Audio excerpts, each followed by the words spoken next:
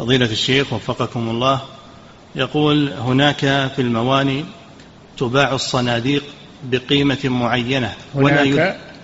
في الموانئ تباع في, في إيش؟ الموانئ. مواني؟ نعم. نعم. تباع جمع يعني جمع ميناء. نعم. أي نعم. تباع الصناديق بقيمة معينة ولا يدرى ما بداخلها من بضاعة فقد تكون ملابس وقد تكون غير ذلك. ما يجوز هذا مجهول. ما يجوز بيع الأشياء المغلفة والمغلقة حتى يعلم ما بداخلها. إلا ما مأكوله في جوفه ولو فتش لخرب مثل البطيخ مثل هذا يباع.